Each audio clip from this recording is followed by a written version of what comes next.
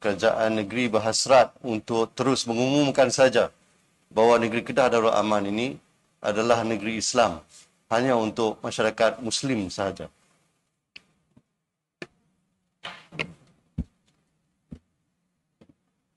kita sebagai sebuah negara masyarakat majmuk dan perkara itu menjadi asas dalam perlembagaan negara kita juga negeri kita nah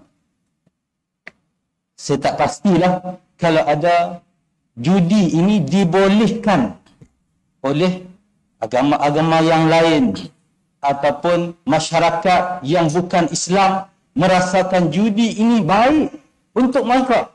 Sedangkan kita semua sedia maklum bahawa ia merupakan satu perkara yang diakui oleh semua eh, dalam eh, kerana sosialnya, eh, akibat jenayahnya yang boleh berpunca daripada perkara yang kita sebutkan tadi.